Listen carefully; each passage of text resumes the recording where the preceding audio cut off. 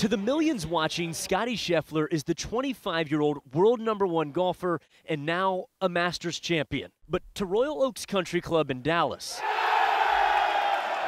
he's just Scottie. He's part of the group. It's not like Tiger Woods would walk in the 19th hole at Royal Oaks. He walks in, we sit down, he's no one, he's just part of the, he's part of the family. Frank Voigt has known Scheffler and played golf with him since he was seven. At what point did you realize, hey, this guy's actually pretty good? When he was seven. His family moved from New Jersey to Dallas when he was six. Scheffler won awards at Highland Park High School and the University of Texas before going pro. He always emulated them. He would just watch them and then copy them. It was amazing. You could tell this kid had something special. He wore pants when kids don't wear pants out here because he wanted to be like the pros.